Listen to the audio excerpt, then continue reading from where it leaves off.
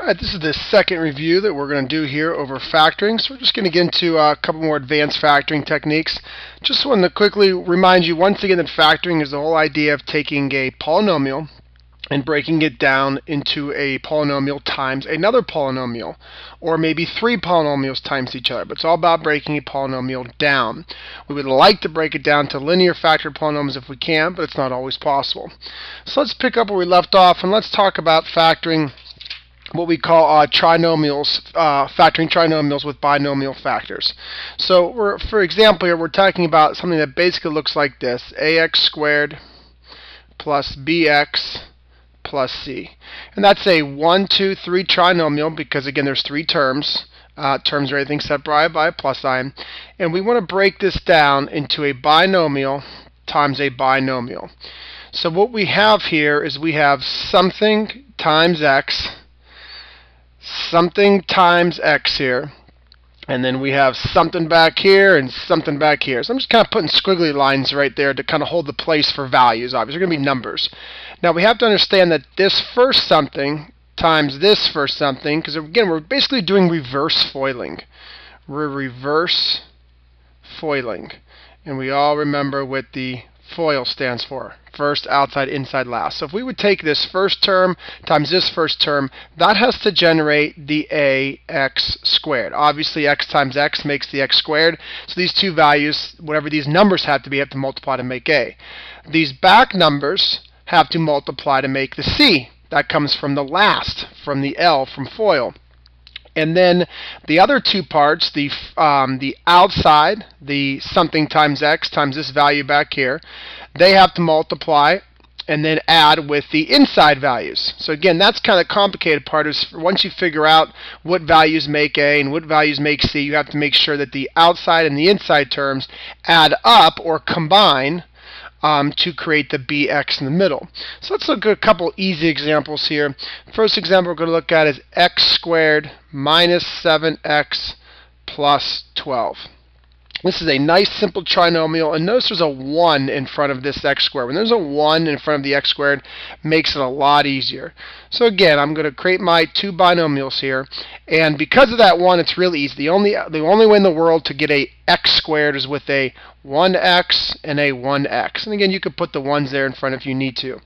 Now I got to think about 12. 12 could be, for example, a, uh, a 6 and a 2. Now the only problem with that is if I multiply, I do get the x squared, I do get the 12, but I get a 2x on the outside and a 6x on the inside. Now a 2x and a 6x can make an 8x or make a 4x if you would use subtraction. 8x and 4x, none of those are going to make the negative 7x in the middle. So we're going to scratch that idea out. Next we can try 3 and 4. Again, I'm going to get the x squared in front, the 12 in the back. Now I got to check the outside 4x, the inside 3x, and a 4x and a 3x could definitely make a 7x in the middle. So I need a 3 and a 4. And the last thing I got to figure out is the signs I need here. And I do need them to multiply to make a positive 12 but combine to make a negative 7, which means they both have to be negative. That way I get a positive 12 in the back, and I get a negative 4x and a negative 3x in the middle combined to make negative 7x. So that right there is um, the complete factorization for the trinomial x squared minus 7x plus 12. And notice that I was able to take a polynomial, turn it into a polynomial times another polynomial, both of which are linear. Let's look at another one here, x squared minus x plus 20. Again, I got to, uh, it's a nice easy problem with I got that one x in front, so I got an x and x. It's the only way in the world to make that x squared in front. And then 20, I'm thinking 10 and 2. 10 and 2. So that's going to get a 2x and a 10x, uh, never going to make a negative 1x in the middle. Next, I'm thinking about 5 and 4. That makes 20. And a 4x and a 5x on the outside and inside can definitely make a negative 1. So I need a 5 and I need a 4. Now I just got to worry about what signs I need. I need them to add to make negative x. And, well, I noticed that this might be kind of impossible. Wait a minute, because if I have a negative 5 and a positive 4 here, that's going to make my 4x, negative 5x, O and I, outside, inside to get the negative x, but that's going to generate a negative 20. I needed a positive 20 right there. So um, this could potentially be a problem that looks like it's possible to do, but technically is actually impossible.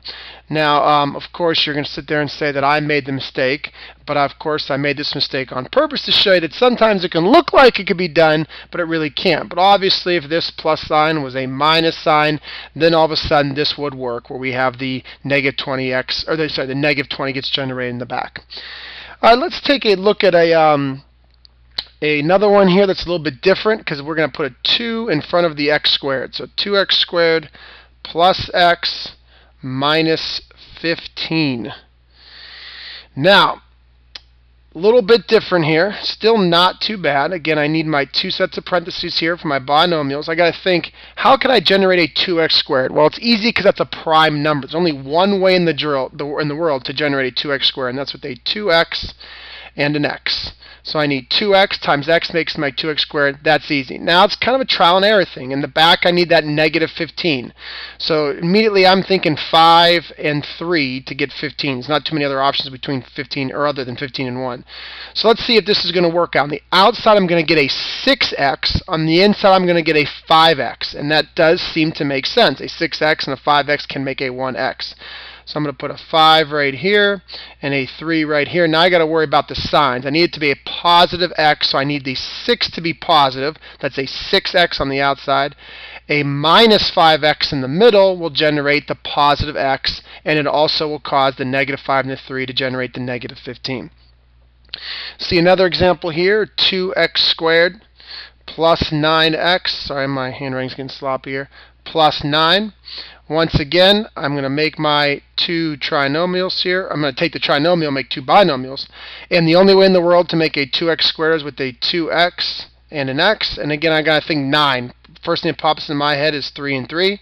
So that's going to be a 6x on the outside, a 3x on the inside. That's going to work out perfect. A 6x and a 3x can make the 9x in the middle. So a plus 3, plus 3, everything's positive. You don't have to worry about anybody ever being negative.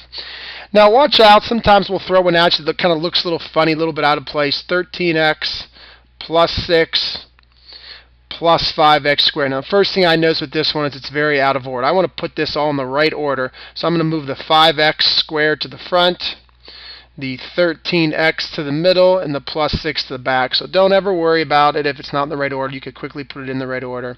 So set up my parentheses here. The only way in the world to generate a 5x squared is a 5x and an x. 6, I'm thinking 6 and 1. We could try 6 and 1. That's going to generate a 5x on the outside and a 6x on the inside. A 5x and 6x can make a 1 or an 11, not going to make a 13. So next I'm thinking about 2 and 3.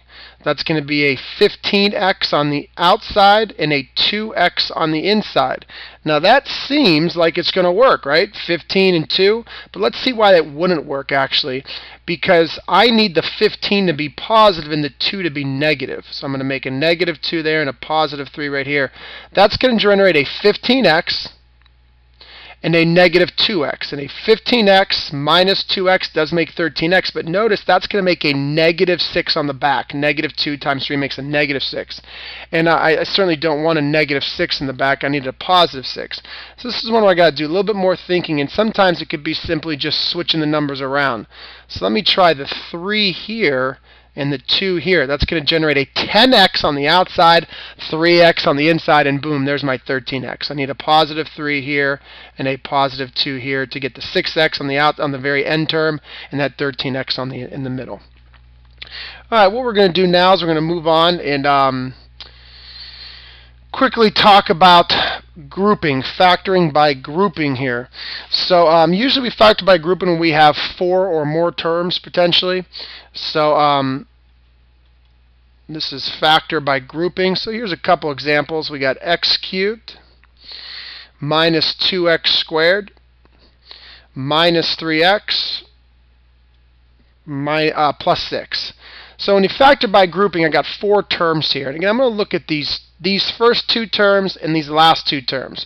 So in these first two terms, what can I pull out that's common? Let's use the remove the common factor factoring technique here.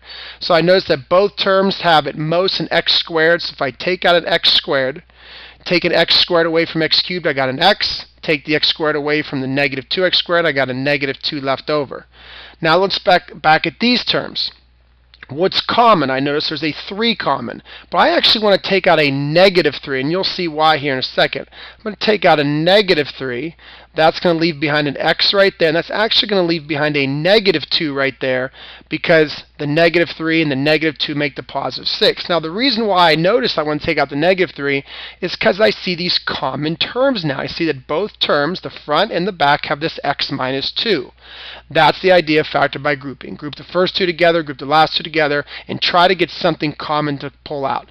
Notice the negative 3 though. Be careful. That made a negative 2 back here. That would generate the positive 6.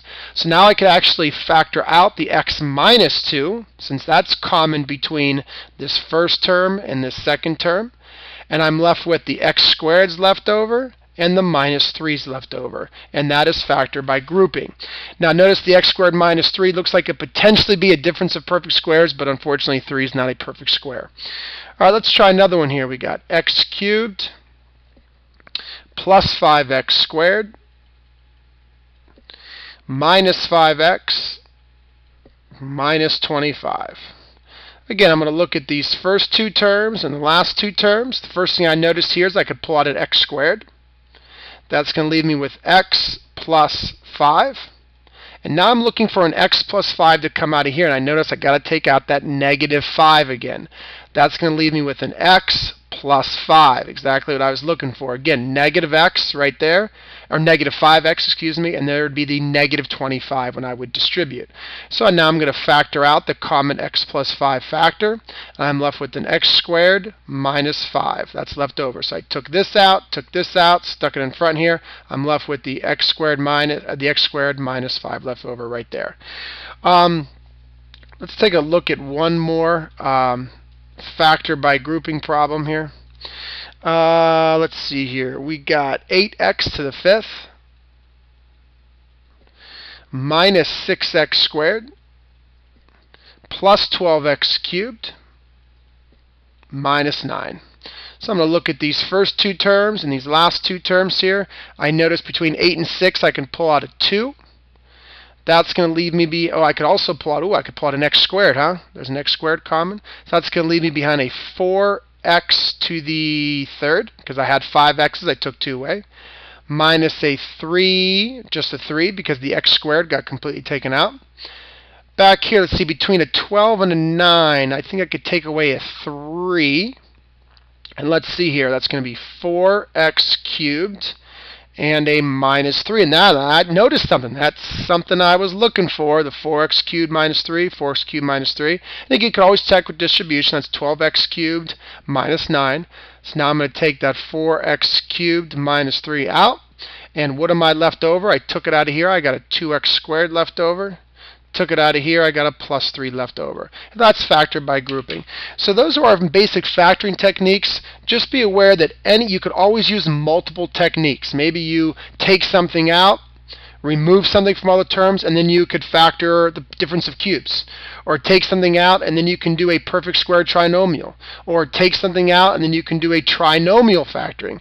Or take a value out of all four terms, and then you can do grouping. So always be aware there's multiple techniques that you can utilize in order to factor. So sometimes you got to put all the different factoring techniques together. But we went through the very basic factoring techniques, and hopefully that's a quick review of our factoring for you.